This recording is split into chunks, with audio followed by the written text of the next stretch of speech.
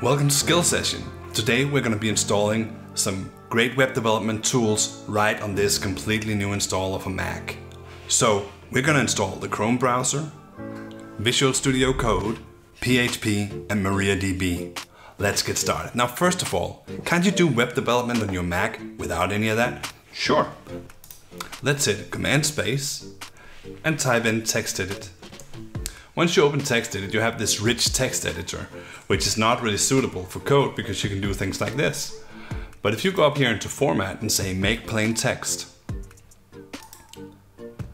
then you get a completely pure. And once we save this, we can actually save it into document and we can call it index.html. Save it and use .html. And we can say that we want to open this in Safari. So we have a completely functional website right here without installing anything. Now we can't do any backend development with this. We can't do any database development and we'll of course want to work on that. But the first thing we want to do is Safari is a great browser. But the fact of the matter is most people use Chrome. So if we want to test our web development on the browsers that most people use, we need to test it in Chrome. So let's get Chrome right away. Chrome. Download now.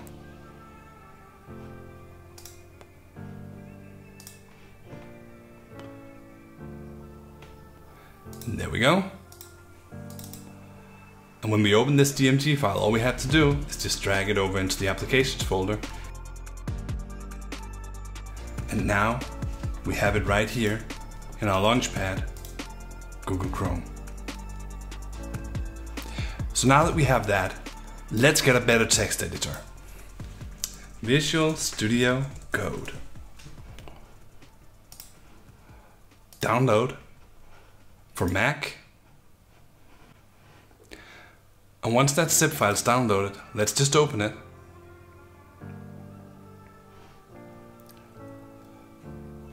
And we just have the application right here. Now we want to drag that into our applications right here. Now I already have a file in here called index.php, so I'll make another one called test.php. But what you can see here is that if I do what I did before, then I have syntax highlighting right now, unlike what I had before. Now, in order to install PHP or MariaDB, you need to install Homebrew first. So let's open up Chrome and let's find Homebrew. And we click here on the home page to go to homebrew.sh. Here on the front page, we're gonna find a command that'll install Homebrew for us. So if we take all of this, we can just click on the button out here. It'll copy it to our, to our clipboard. So we can hit Command Space, say Terminal, and then Command V to paste what we just found.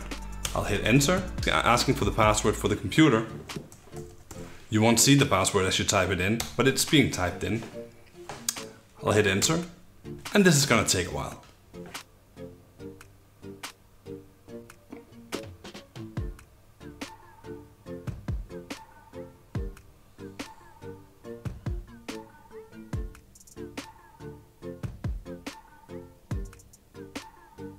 Now that Homebrew is installed, we need to add a path to, um, to the terminal in order to use it.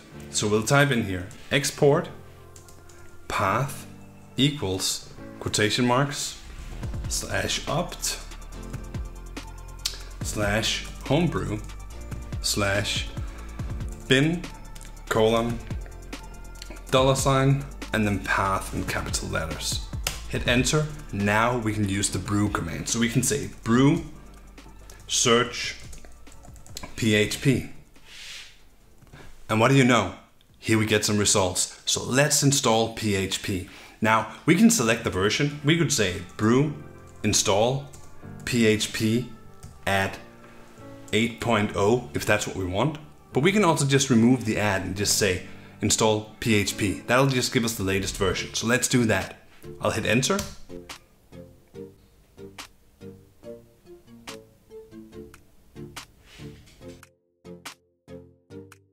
So now that PHP is installed, we need to add the PHP path to the environment variables in order to get it to work.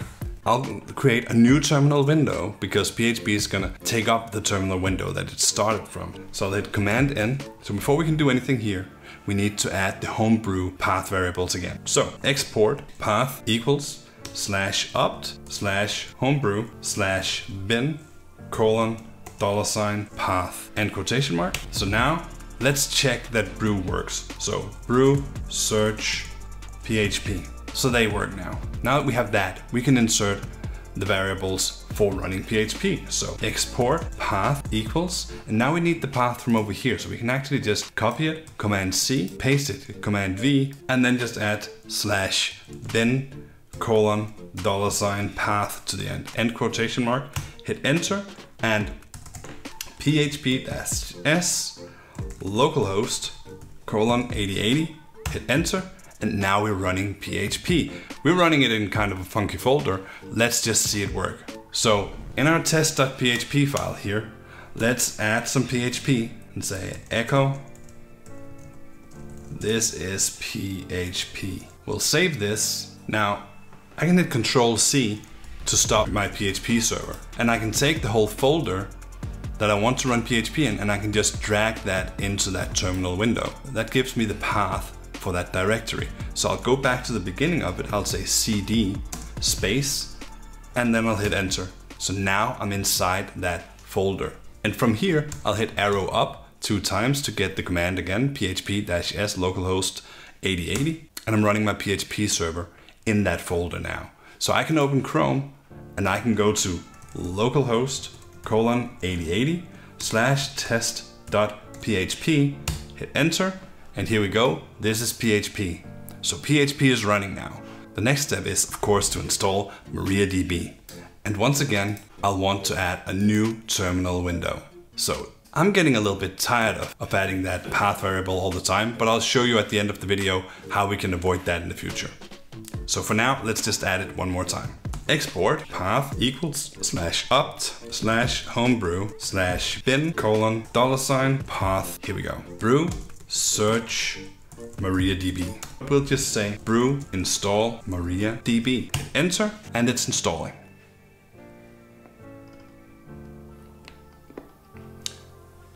And now that it's installed, we need to run a couple of commands. So I'll say brew services start MariaDB. And now that it's started, you can say sudo mysql underscore secure underscore installation. Hit enter and it'll ask for a password.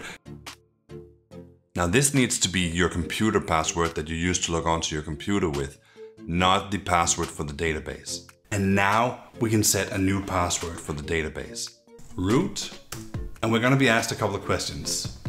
Switch to Unix socket authentication? Yes. Change the root password? Yes. We want it to be root and root. Please do this even if you think you know what the password is. Um, remove anonymous users? Yes. Disallow root login remotely? Yes. Reload the privileges table? no, we also don't need that. Okay, so now it's actually running. So we can test this. We can say sudo mysql u root without any spaces between them and then dash p. And then it's gonna ask for a password. We just set that to root and now we're actually inside. So I can write something like show databases. This is SQL. Oh, I need to put a semicolon at the end of that. But this is SQL and it's actually showing me the databases and I could write whatever I want here. So I can say create database mydb. Okay, so if we click control C, we're gonna exit the database. And after we've uh, we've exited it, we can of course start it up again. We can start up PHP again after we uh, hit Control C to stop the PHP server. But every single time we do that, we have to enter these paths, right? That's becoming pretty annoying. So Let's do that by default.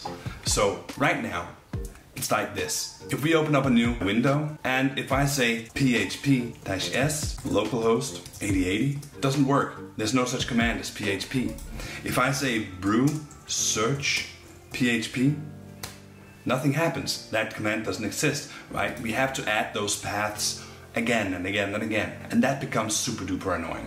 So let's jump up here into settings, terminal, settings, And then we take this basic layout because we can have different layouts, but, but the one that's default uh, is the one we want to play around with. And that's probably basic if you haven't touched it before. And if you click the tab here that's called shell, then you can set a, set a check mark here where it says run command. Now by default it's gonna say dash zsh, just delete that. And in here we take these paths, export path equals quotation marks forward slash opt slash homebrew slash bin colon dollar sign path and quotation mark. And then a semicolon so we're ready for another one. Export space path equals forward slash opt slash homebrew slash php slash 8.1 slash bin colon dollar sign path end. And we don't have to click save or anything. This, this saves automatically. So if we just close this down, now it doesn't work for the ones that are already open. But if we create a new terminal window and we zoom in on this, you can see it already ran these, uh, these commands. So now all we, all we need to do is just say php dash s localhost colon 8080. Okay, so MariaDB is all up and running, PHP is running, we have syntax highlighting with Visual Studio Code, everything is fine. We just need to test that it's working, right? We need to connect our PHP to our database. So let's do this. In order to connect, we need to set up a couple of variables, right? We're gonna need a server name, username, password, and the database name, right? And then we need to insert a connection string so that we can try and connect to the database. New PDO, parenthesis, quotation marks, MySQL colon host equals server name, and a semicolon, and DB name equals database. And then we'll add the username and the password. Now, this will try to connect to the database, but let's make sure. Let's say try and catch. Now what do we want to catch? We want to catch a PDO exception and we'll call that exception. If that happens, we'll want to, uh, to echo database connection failed and add the exception. And of course, if the connection works, we'll want to print that out as well. So echo database connection successful.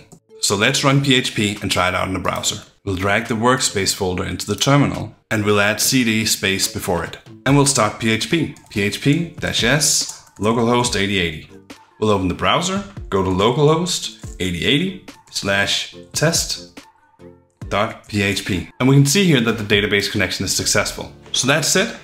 It's all connected, everything works. You're ready to go. Congratulations. And that's gonna be all for this skill session.